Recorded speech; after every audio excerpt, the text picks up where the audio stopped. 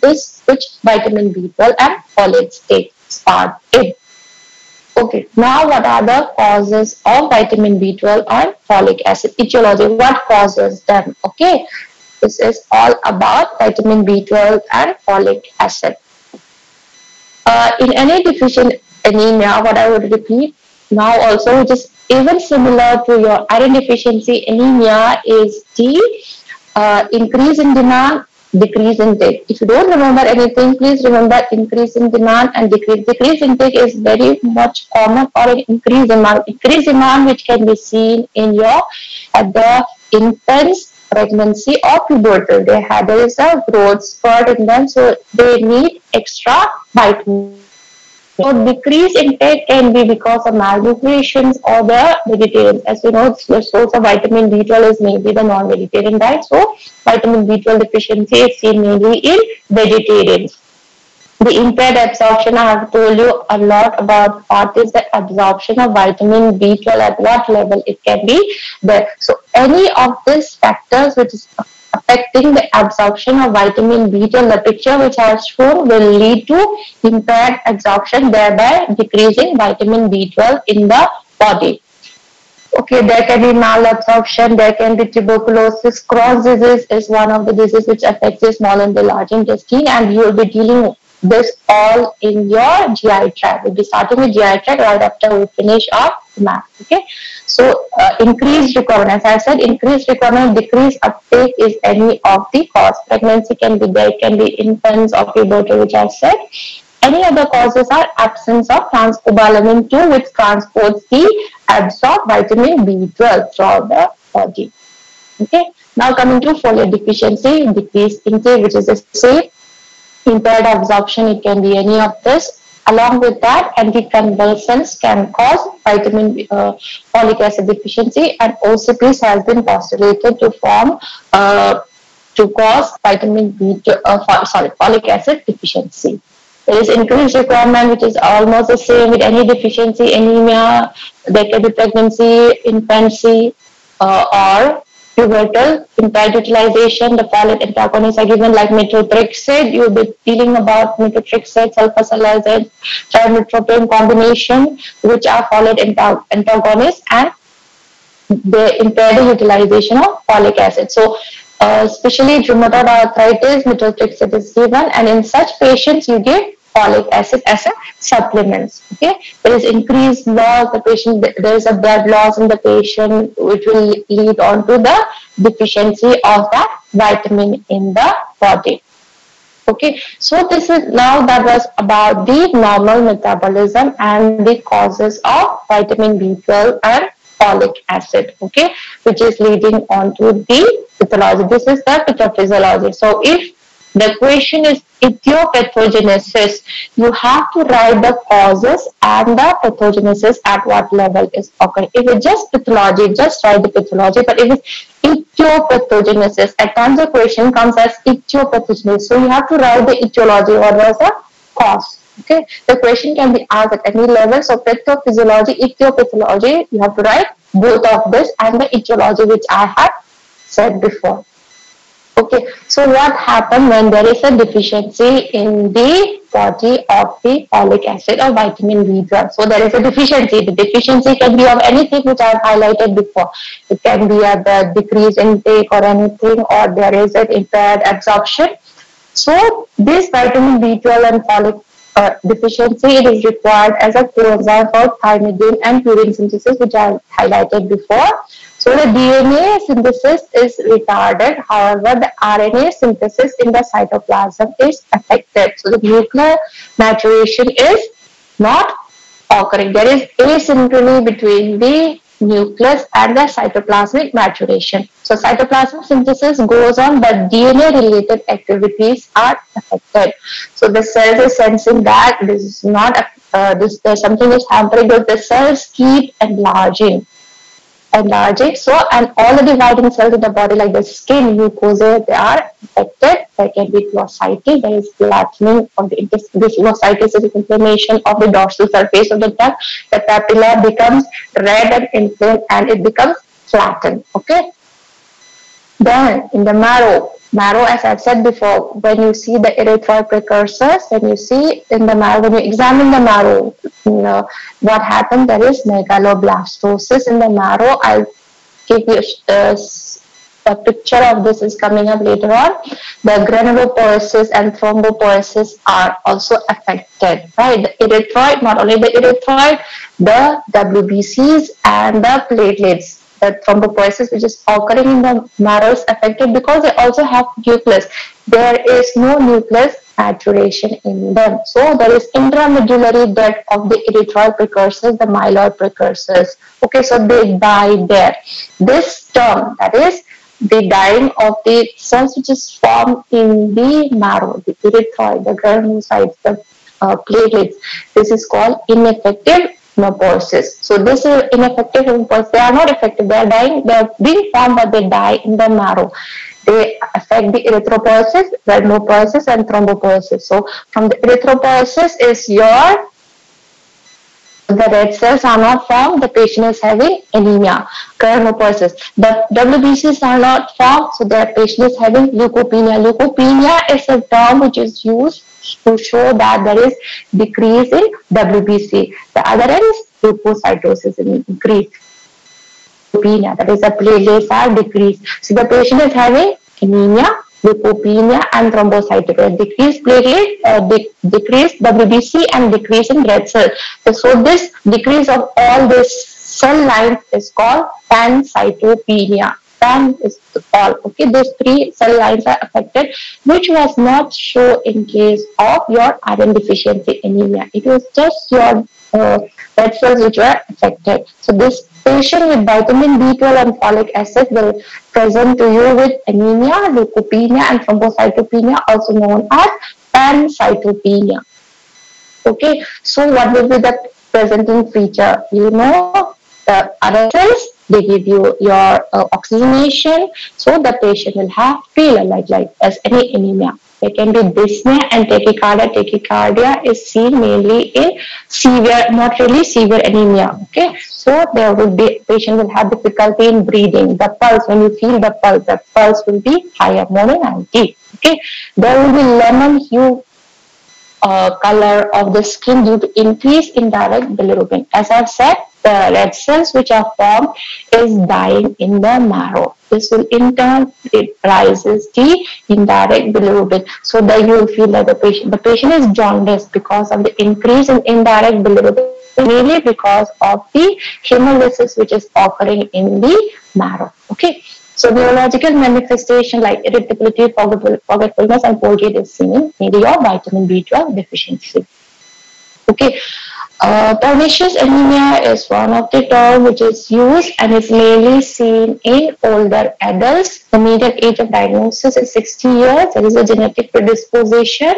And what happened here is this autoimmune uh, attack of the gastric mucosa. So you must remember that in the gastric mucosa, we have the parietal cells which was forming your intrinsic factor. So this is gets disrupted due to which the patient will have deficiency of vitamin B12. Okay. So histologically, when you see there is chronic atrophic gastritis uh, marked by loss of parietal cells, there will be infiltrated by plasma cells and lymphocytes and megaloblastic changes in the mucosal cells similar to those found in erythroid precursors. So the cells are larger. There are types of, uh, uh, three types of autoimmune antibodies are present. They can be type 1, type 2 and type 3. Type 1 uh, blocks binding of vitamin B12 to the intrinsic factor and can be measured both in plasma and gastric juices. Type 2 prevents binding of intrinsic factor to vitamin B12 complex to its ileal receptor and type 3 antibodies and alpha beta subunits of the gastric portion they are non-specific. So this antibody can be at any level.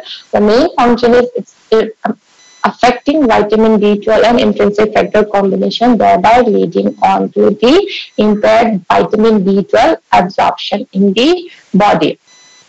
This is a table which I've taken from one of the Todes uh, practical book of and mythology in which they have highlighted what are the clinical signs and symptoms you assess and possible histories you take so that you are at a clearer idea you are dealing with this type of anemia. Okay so tiredness, palpitations, and pallor. This is the because of anemia only. This is what you will see. Okay, jaundice. It is because of the ineffective erythropoiesis that is occurring in the marrow. So, in vitamin B12 or folate deficiency, you will have anemia as well as light jaundice. Don't start ordering your hepatitis A, B, or liver enzymes. Uh, viral serology because this jaundice could be because of the ineffective erythropoiesis. Okay, which is uh, what you have to do about hepatitis. Other hepatitis, viral hepatitis, they'll come to you with fever.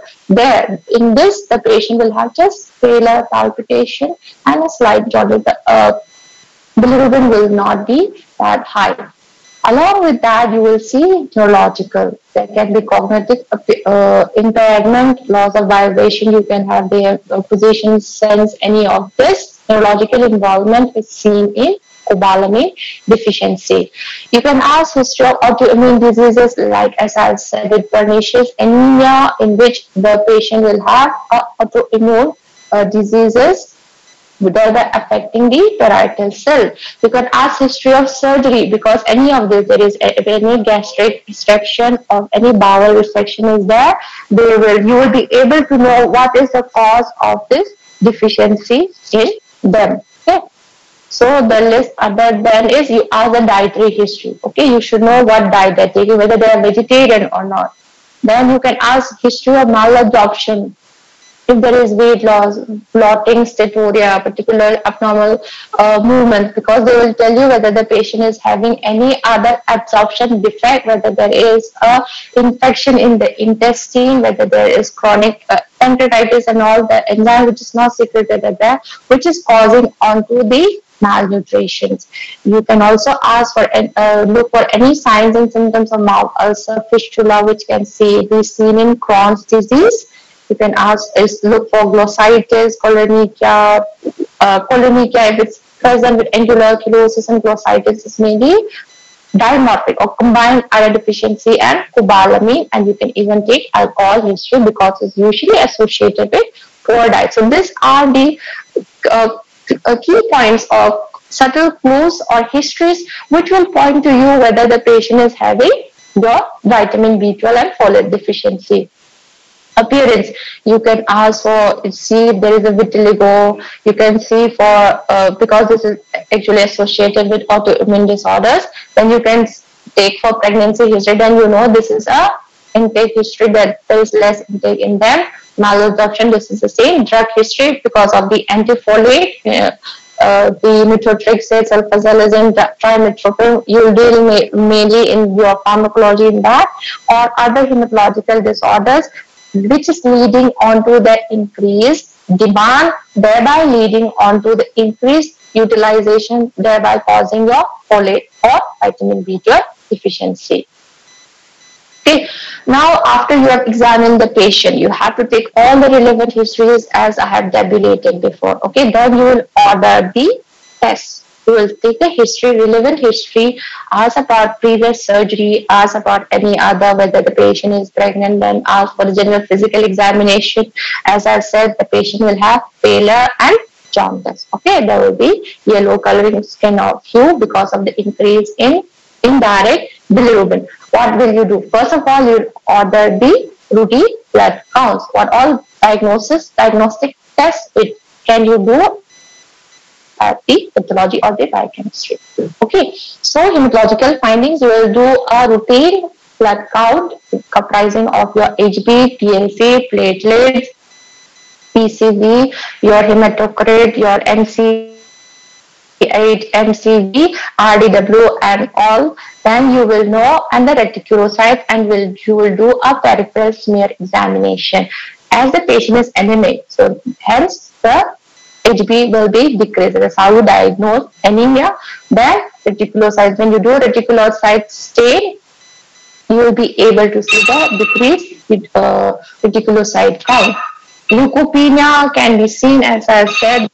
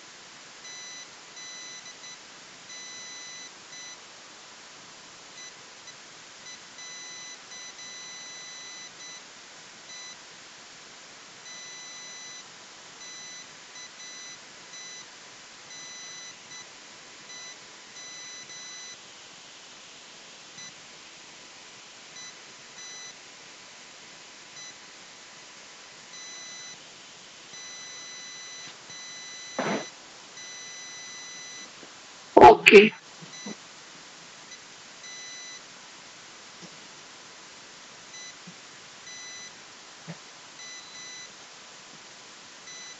Am I audible now? My mic got this. Uh, okay, okay. Thank you, thank you. So I don't know which one, which part you missed. I'll just. Uh, I'll go to how many slides did you miss? Two slides. Wait, did, did you see this? Sheetal, did you see this before? Hyper-segmented polymorphs? No. Okay. This, this one.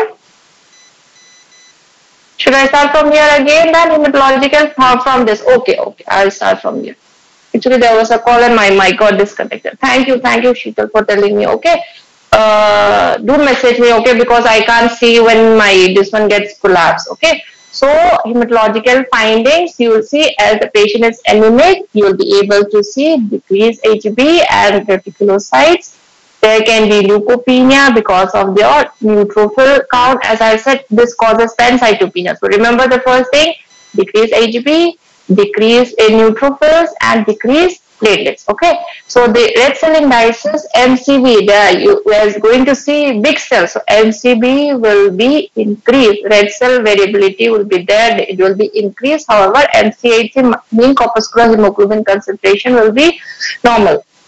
So I'll repeat again here. What you see is your red cells which are normal. This is of a normal person.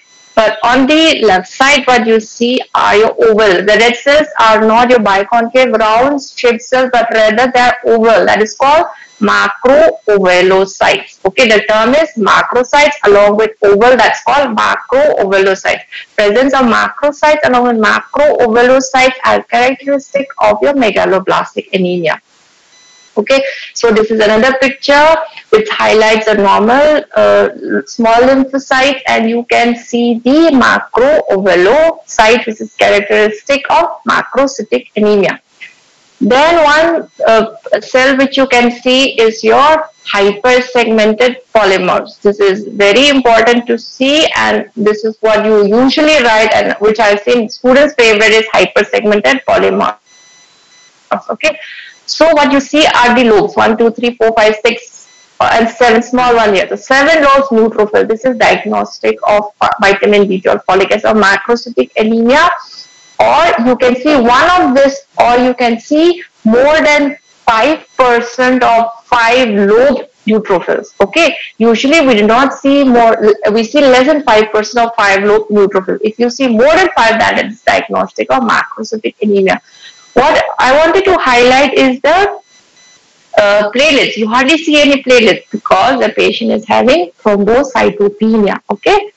Next is besides your uh, red cells, WBCs and platelets, you can see nuclear remnants that is called Howell-Jolly bodies. It's a small dot-like. Okay. There is one term which you will be seeing it, uh, which you will be hearing it again and again when you do hemolytic anemia. That is nucleated red cells. Okay. Nucleated red cells are totally different from the Howell-Jolly bodies. They are not nuclear remnants. They are small remnants out there. I have a picture of nucleated red cells. I'll show that when it comes. Okay. Here, here is the picture of the nucleated red cells. Can you see on the uh, right side? This, the cell with the nucleus is your nucleated red cell. You see a pyknotic nucleus in this but the cytoplasm is the same as that of your red cell.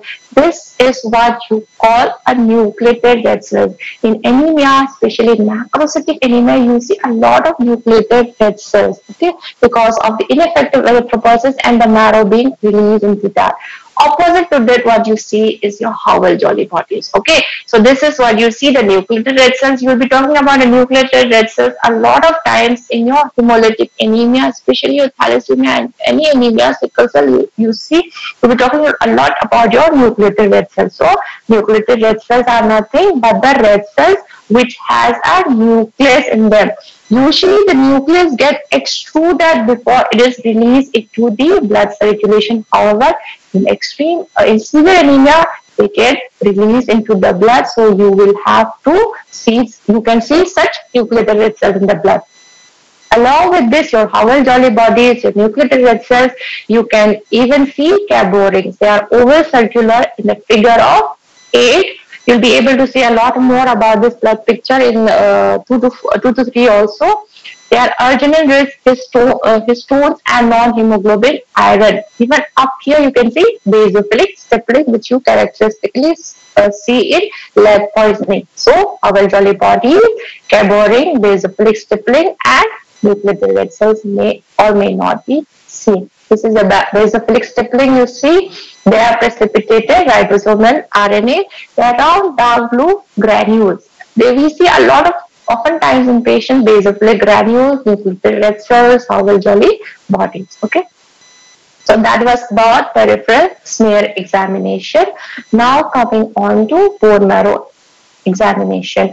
Oftentimes the clinicians are very scared because the patient is having uh, recurrent infections, bleeding manifestation and presented with pancytopenia, we often get a lot of bone marrow aspirate from such patients because they, they think this is some hematological malignancies. Okay, so for that reason and because of pancytopenia, it is one of the indications for bone marrow examination. So they we invariably learn of take, uh, getting bone marrow for such cases okay so when you see the marrow you see all these large cells okay this is called C, C with chutney, okay? It looks like as a uh, nucleus has holes in them, okay?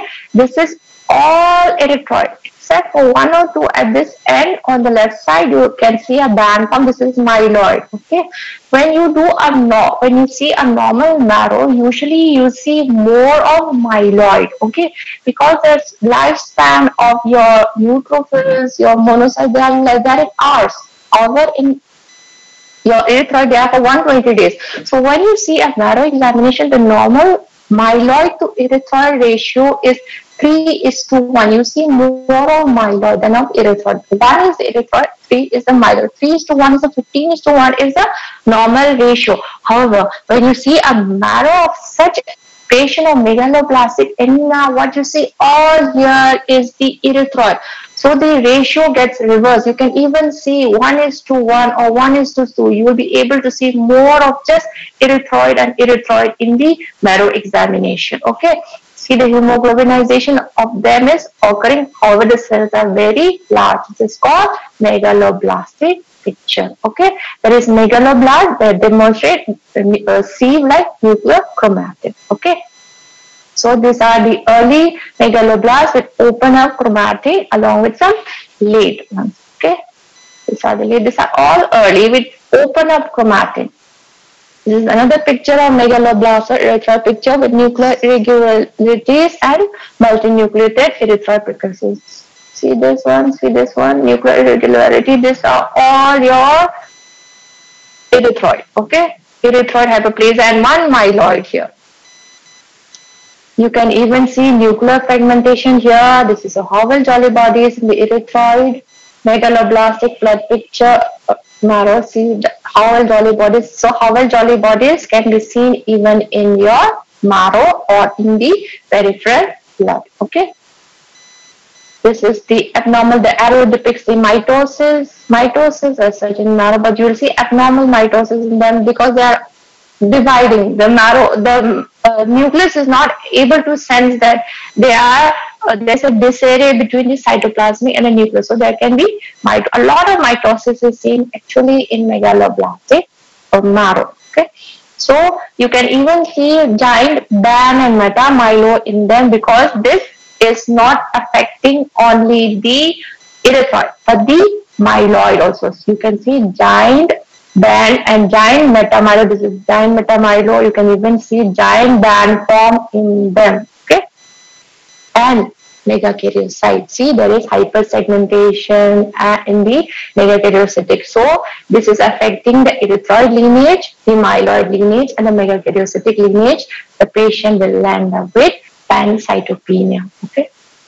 This is about the bone marrow biopsy. You see erythroblast, which appears large with moderate amount of cytoplasm and rounded nuclei. Okay. At times, if you are new in pathology, what uh, residents versus residents, they think they are blast. They think they're they're dealing with the minor uh, some leukemias because of the nature in which it appears into then they are large cell blasts. That's why they are called megaloblast.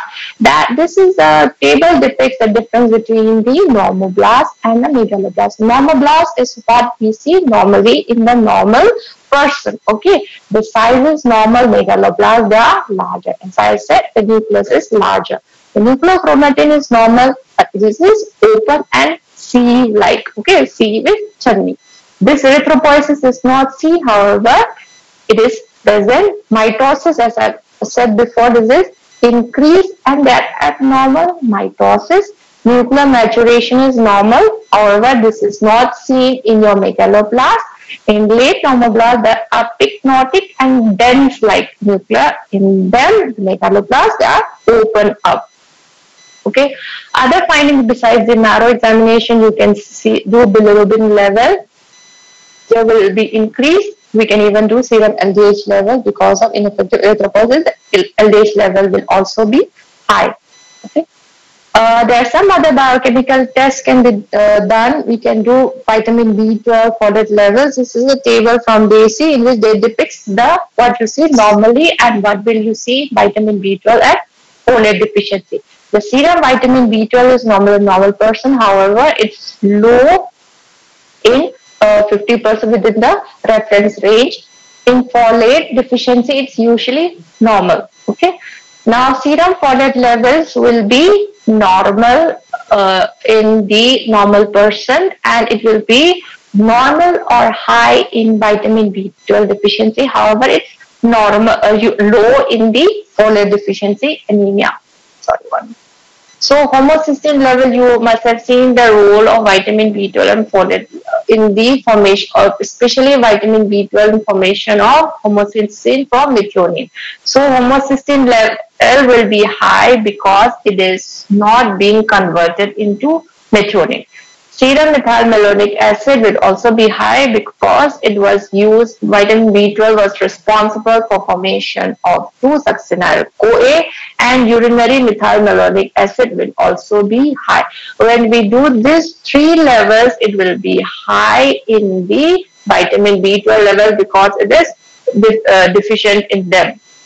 However, for the levels, as I've said before, it gets corrected with uh, deficiency. So the patient usually are symptomatically better if you give high, high dose of folate.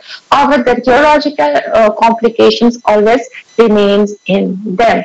The urinary uh, methylmalonic acid will be normal in folate deficiency anemia. A brief about Schilling test, uh, I would uh, suggest you read a brief about it because examiners are very fond about asking what is a Schilling test and what do you do in Schilling test. Okay, there are various stages of Schilling test. Stage 4 in this what you do is this is mainly to diagnose your vitamin B12 deficiency in a patient.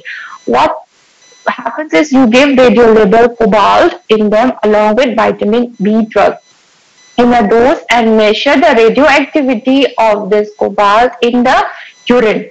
Okay, so it's normally excreted more than 8% in the first 24 hours. Okay, this picture depicts what is happening in the uh, first dose. You would give a radioactive label oral dose along with intramuscular injection of vitamin B12. Why are we giving this intramuscular injection of vitamin B12? Is to saturate the normal transcobalamin which is there, which is formed from the liver. Okay, so this will uh, this will be a competitive inhibition between the two. They will try to compete with this, and we will know what dose of this vitamin B12 oral is absorbed or not and then further excreted in the urine. So the unsaturated circulating trans, uh, transcobalamin 2 you saturate it with uh, intramuscular B12 injection and the radio label is what is depicted with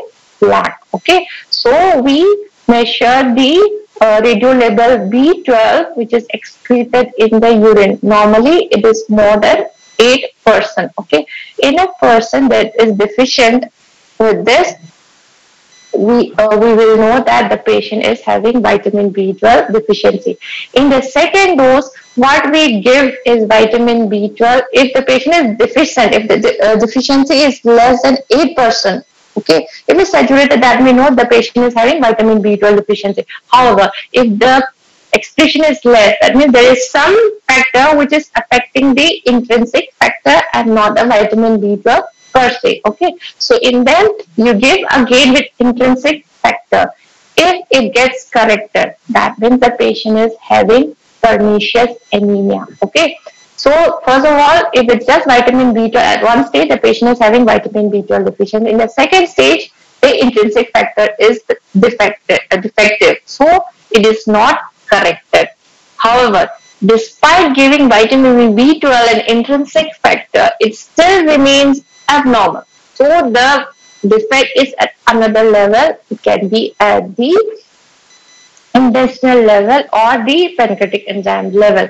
So there is some infection going on leading to defective absorption. So what do you do in them? You give them antibiotics.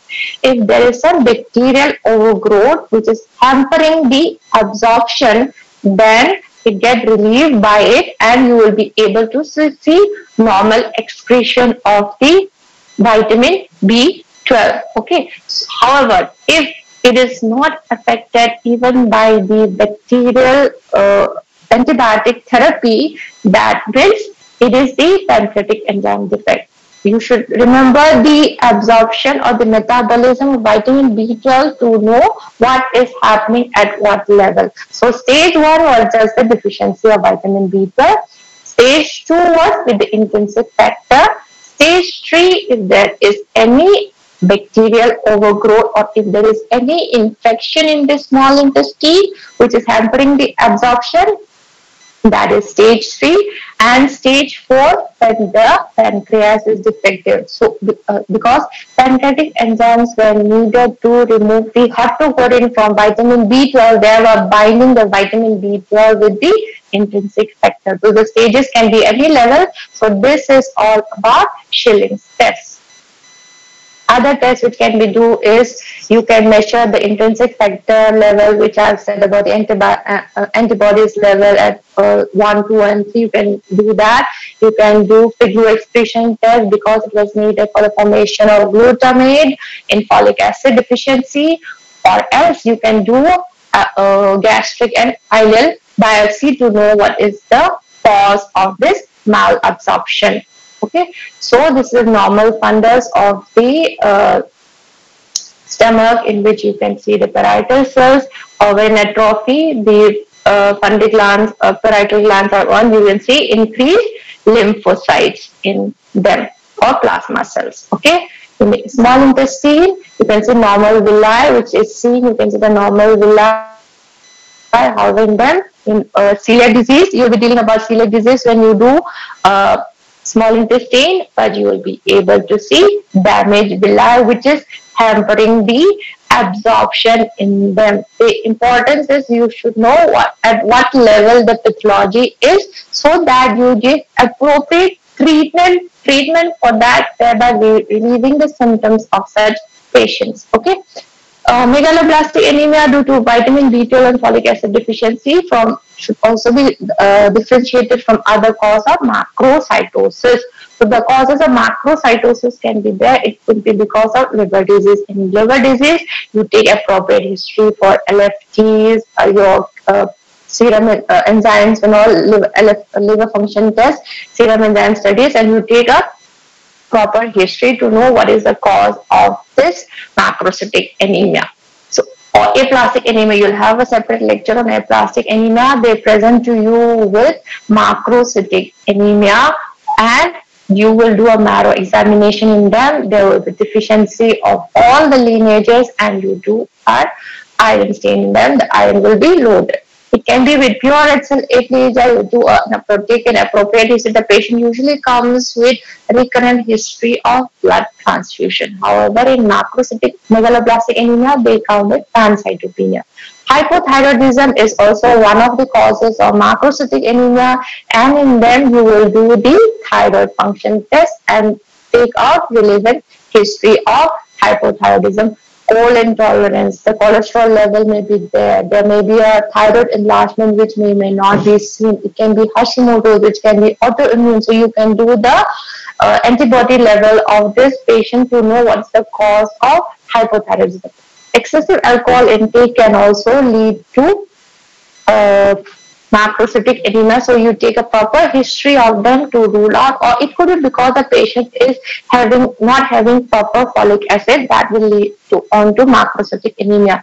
Reticulocytosis. If the patient is having extensive hemorrhage or the marrow is responding a lot, reticulocytes are larger. They are polychromatophilic in them, so they appear as macrocytes they appear larger in uh, especially in hemolytic anemia or if the patient is following treatment of iron deficiency anemia or any deficiency anemia we see reticulocytosis.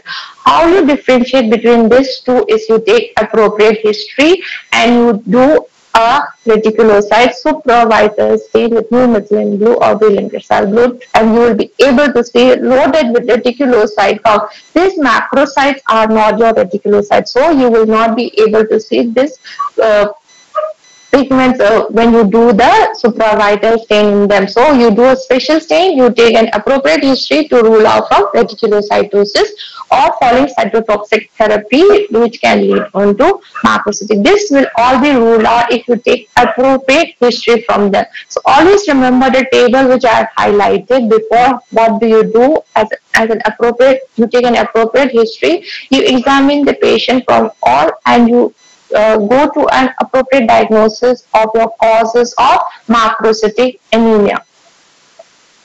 So what is the treatment? The treatment is mainly to detect and treat the cause because the cause until and unless the cause is treated, until and unless the infection is treated, it will not be, the patient will still have, have all these symptoms because the vitamin B12 or folic acid, they are not getting absorbed. So that you treat the cause, the, uh, the, the defect will be there. If there is a decrease in intake, give them more vitamins. Uh, or if there is an infection in the intestine, give them antibiotics and they will be not be having any of the symptoms, which is because of impaired metabolism. Parenteral vitamins are needed in patients with malabsorption. That's it about today. Uh, any question? If not, I'll just wind up. And on Monday, as I've said before, you will have your assessment from 11 to 11, uh, 11.30. There are only 20 questions and you'll be given specially 20, only 20 minutes for that and like last time I'll close it so don't try to attempt after after it and uh, anyone schedules any uh, thing between that time because I got to know some there is a clashes of the schedules like few days back. Please inform me in advance so that I know when to schedule. And if anyone asks tell them that you are not free from 11 to 11.30 on Monday especially on Monday. Later wise I'll be doing only on Thursdays. I don't want to shift this to and on next assessment is on the 20th of this month and I feel you have not done infection okay? I've added one more infection chapter and because infection is very pretty important. So just add on that and it will be later. Just read the other chapters. But this Monday it will be just immunity which is only 20 questions okay? I think one assessment marks is left for you all. The moment it's been tallied. Uh, I'll upload it in the group, your marks. Whoever is, uh, I don't think any of you are hostler now. Whoever wants the paper can come and take it. I'll be uploading that next week. Okay. So I hope everyone is clear about the uh, exam. Okay. What was the why death of precursor cells occur in the marrow. Actually, what happens is the body has an in uh, inbuilt mechanism that you do not release of this defective cells into the circulation. So the cells are changing. You have seen that the cells, the red cells are supposed to lose the uh, cell, uh, nucleus in them and be extruded. What happens is the nuclear maturation is not occurring. The cell just die there and then sensing that there is something abnormal. You must have read about tolerance in the body, right? So their body sensing that they are not mature enough or they are not good enough to be sent the body. So they are killed itself into the marrow. Okay. That's a good question. What else? Anything else? Okay. If not, I think you're clear about this. Read about this and this are very commonly encountered anemias in our population. We get a